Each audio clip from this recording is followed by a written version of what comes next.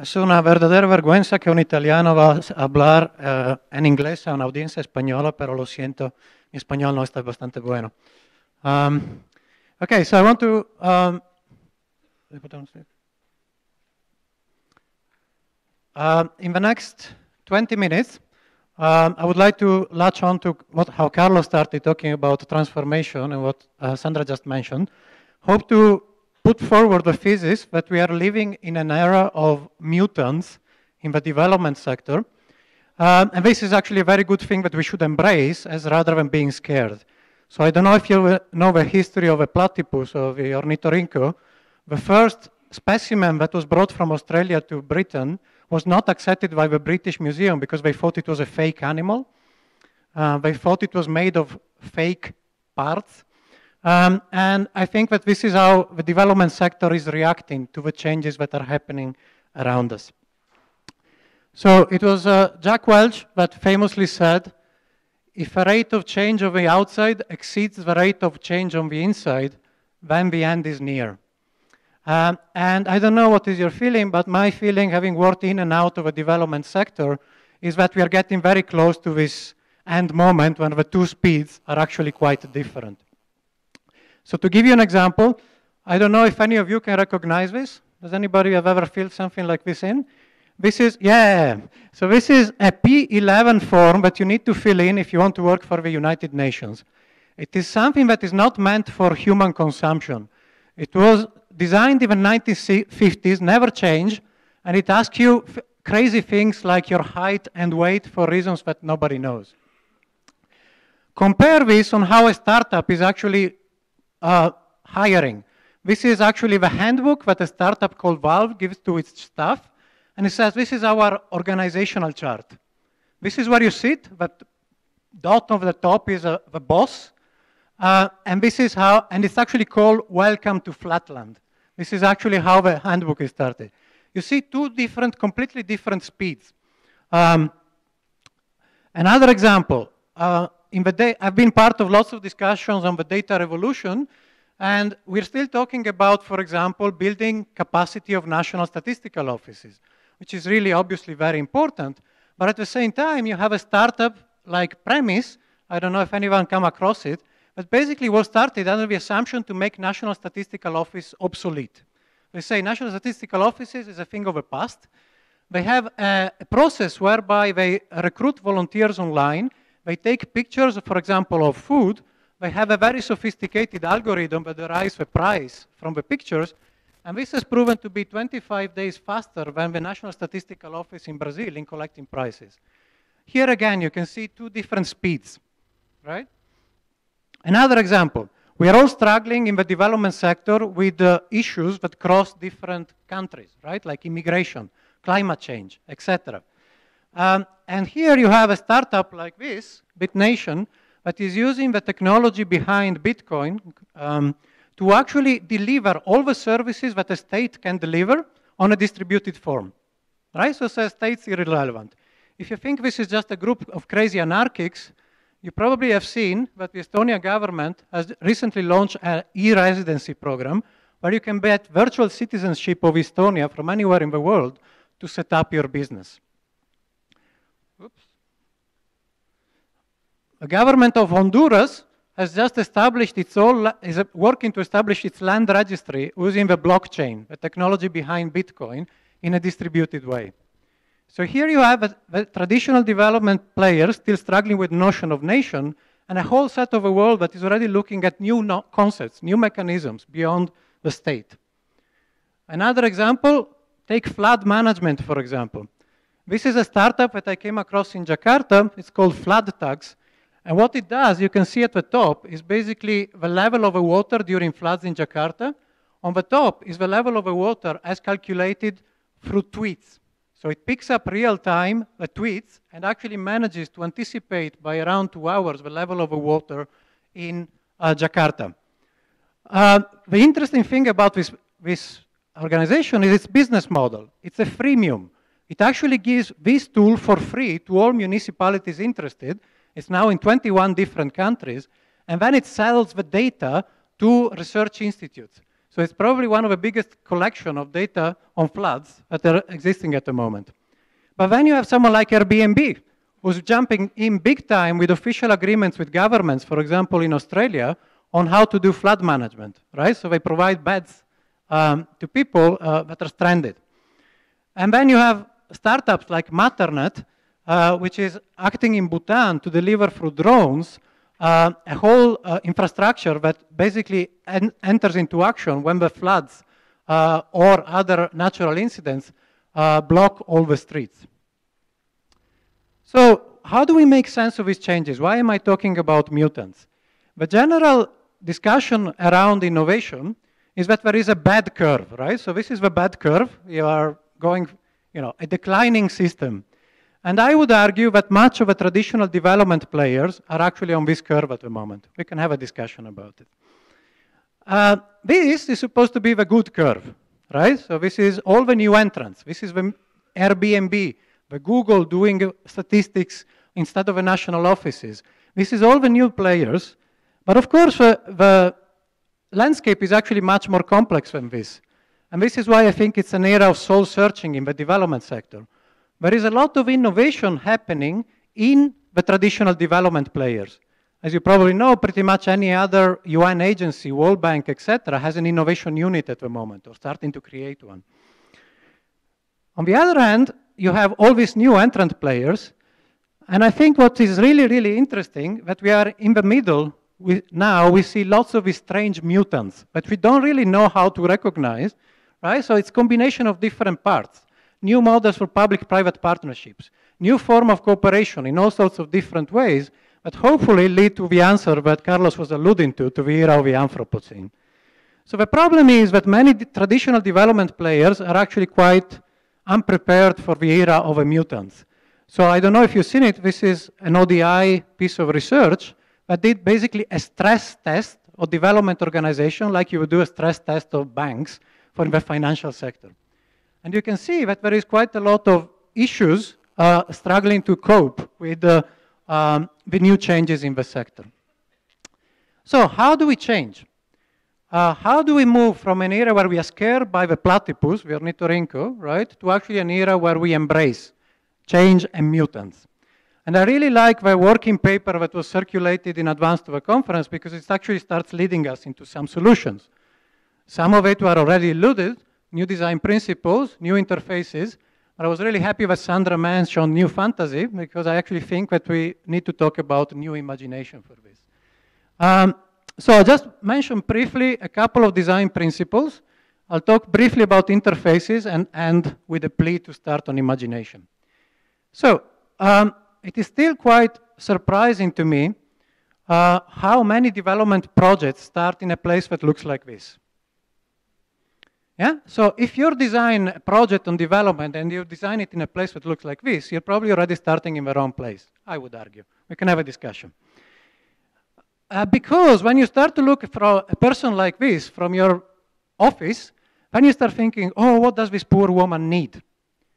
And instead of mapping needs, I think that a much better way to start a new design principle for the Anthropocene is to say, what does this woman have?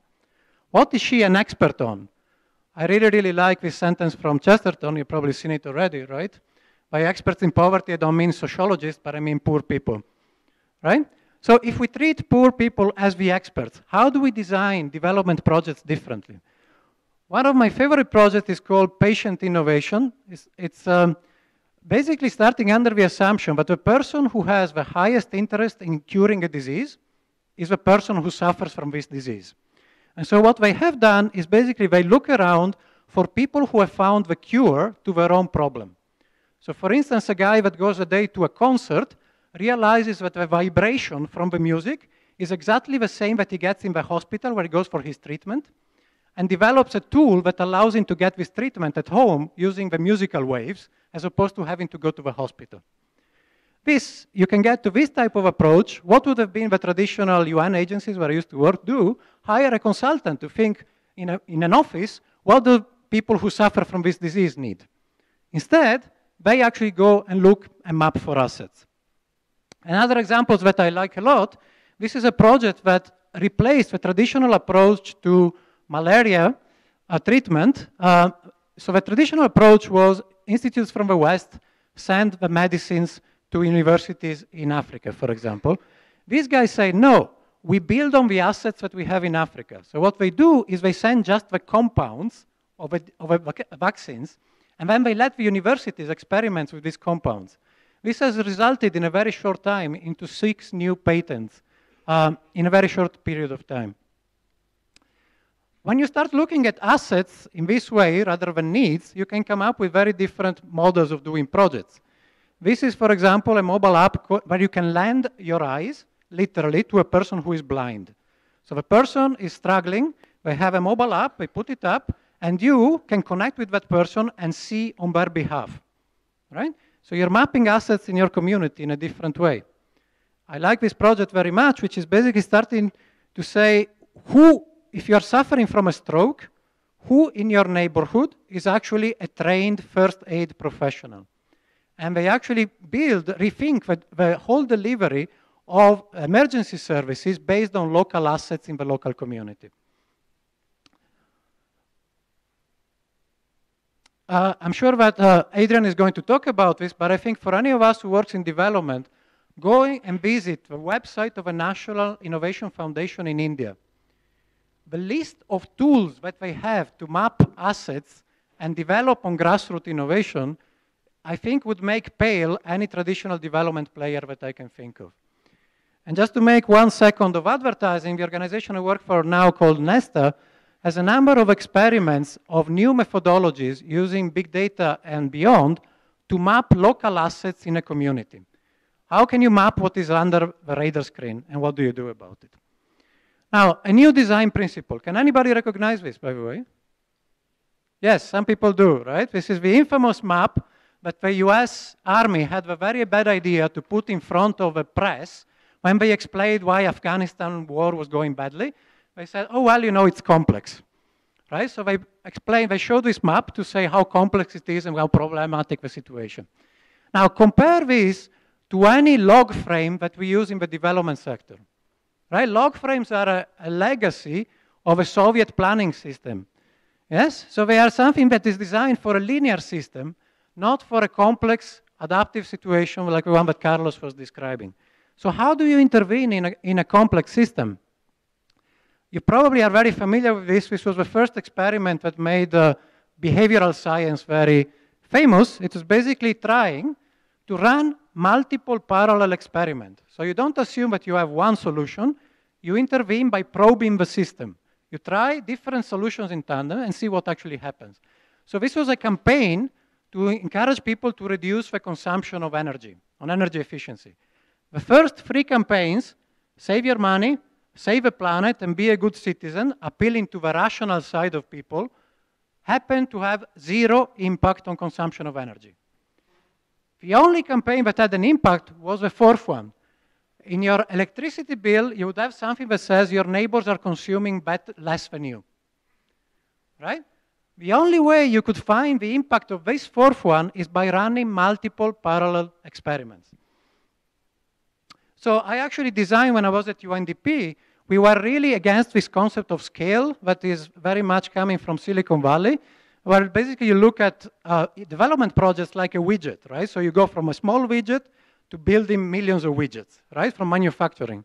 Instead, what we did, we brought together a group of biologists to help us design projects based on the principle of evolution and cooperation, I have to say, thanks Carlos, right? And basically run multiple parallel experiments in evolution and see what actually happens. I cannot tell you the results yet because we're still under progression, but basically, it's one different way of thinking of how to run a project. Uh, I, I, guess all of you have heard of direct giving, which is the current darling of the development sector. If you haven't, I would encourage to, to go to their website. There is no picture like this. What they do is they basically give, transfer $1,000, uh, uh, one worth year of income to poor people through their mobile phone, no questions asked. And what they have is the biggest base of evidence in terms of our impact that I've seen in any other organization ever. And this is based on this principle of actually giving, running multiple parallel experiments. So I talked about two design principles. Multiple parallel experiments and starting with assets, not needs. Very quickly about interfaces. I think this, this conference is actually a perfect example of these new interfaces that we are creating between very different sectors. But I wanted to bring a, a framework that I like very much, which is from a professor at Harvard that says that there is something like the non-contractibles, which means people you cannot hire. If you are a development organization or any big bureaucracy, you can start under the assumption of as many people you will never be able to hire these days, because if you're young and smart, they probably think you are too boring, too callous, or too irrelevant for actually their purposes. So you cannot hire them. And our argument is, if the successful bureaucracies of the future are the ones who find a way to hire the non-contractibles. In order to do this, you need to create completely new interfaces. So famous new interfaces in the development sector, I'm sure you're all familiar with the digital humanitarians, they were created because all the traditional development players were way too slow to act in case of emergencies. So digital humanitarians are people who have a real job, they work at Yahoo, they work at Google, they do whatever else. They are activated very quickly in case of emergency, and they have now a formal interface to organizations like the World Bank, the UN, etc., to actually give their smarts to react to Honduras, to uh, Haiti, to whatever type of crisis you can think of. Another example is DataKind. This is data geeks that don't mind giving their time, we'll talk about it in the big data session tomorrow, I'm sure, uh, to development organizations who are struggling with data questions. Again, this is people who have a real job. They are non-contractibles. It would be almost impossible for the UN to hire many of them, and we don't know, but this is the way to happen. Uh, there's many really interesting new interfaces being created uh, these days. One of my favorites is called Edgeryders. Edge Riders is an organization that specializes in finding niche, below the edge, below the radar uh, innovators and connect them with big organizations, development organizations, to actually create some of these new experiments and new hybrids um, that we are talking about. Procurement is another area where you can find really smart new interfaces between traditional players and I don't know if any of you had to apply for procurement through any of the traditional development players. It can be a fairly grueling process. CitySmart, for example, CityMart, sorry, is a startup that helps turn the official RFPs of, of a government into human language so that actually smart people can apply for them, right? Uh, so it basically simplifies dramatically the RFP process so that you increase the chances of getting to the real experts. Uh, there's many new models of innovative finance that are being created. So this is one of my favorites, it's the vaccine bond, which basically says no private sector company will probably have sufficient incentives to develop certain type of vaccines because it takes too much long uh, to get the rewards. So basically they created a bond and this is a mutant, right? It's a World Bank working with JP Morgan, working with the Gavi Alliance, working with Oxfam. It's all these new forms of collaboration to create a bond that basically de-risks the investment in uh, uh, creating a new vaccine. And I think there is an awful lot to be said about innovation in financing together. So I'll get, however, to the last one, which I wanted to last. It's good to have new design principle, new interfaces, but back to Sandra's point, new imagination. I think that most of the time, our problem is not a problem of lack of technology, it's a problem of lack of imagination. So I'll give you an example of what I mean. Uh, I was at a uh, museum in uh, an exhibition in Tokyo earlier uh, last year uh, where um, it was given a challenge to companies to design a water bottle for the Anthropocene era, an era of water scarcity. So how do you design a bottle in a world where there's going to be very water bottle? What does it look like? What do you, how do we use water in the year 2050 where there's going to be water wars around the world? Now, this company said, you know what? This is not imaginative enough. This is not pushing the boundaries for the new future. This is not mutant enough. So what they said is we need to actually redesign the human body. What they did is they spent two years studying rats that live in the desert and all sorts of other animals to see how they reduce their water consumption. And then they developed these implants, which you'll be happy to know were never actually tested on human beings, um, but basically reduce, for example, uh, how much you sweat, uh, how much you go to the toilet, and all sorts of other things I won't get into now. Um, so this is uh, an example to me of radically redesigning and rethinking a problem. And to answer uh, the call that we got at the beginning for the new challenges we need to face, I think we need more things like this. I'll give you just another example. I assume you're, most of you are familiar with this. So most of you probably heard of global warming. Uh, has anybody heard of local warming? No? Okay, so this is another example of redesigning and reframing the problem. This is an MIT startup that is basically looking at, instead of a heat, you go into a place where there is heat, heat comes to you. So they figured out a way to warm your body from far away using technology that goes beyond me. So they basically prove instead of having to warm a room, you just need to warm the body that lives in the room. And in this way, they save around 30% of energy consumption. This is the type of thinking that I think we need, this radical leap in change to actually get to the new era. Uh, one second of commercial, the organization I work for called Nesta has actually developed a free toolkit to encourage this type of thinking. Uh, I think it's available in Spanish as well. You can go to DIY Toolkit, and this is actually where uh, you can download all the tools to encourage different type of thinking. It's designed for the development sector. Enough of this. Uh, I just wanted to say that one simple exercise that you can do when you go back to your organization, if you want to foster imagination, is to play the subtraction game. So this is, I think all of us has our favorite list of things that we would like to throw down the, the tower from the development sector that is creating problems. Uh, try to imagine a development organization that doesn't have a meeting room, that doesn't have needs assessment, that doesn't describe an ideal state. You make your own list of things that really think are an obstacle. Just try to imagine what a world without these things would look like and try to design a project without these constraints as a mental exercise to start to encourage imagination. So I just end up with my final plea not to be scared by the mutants. It's an era of platypuses, and we should be happy about it. I think we need to embrace them uh, and actually try to foster more mutant thinking. Thank you very much.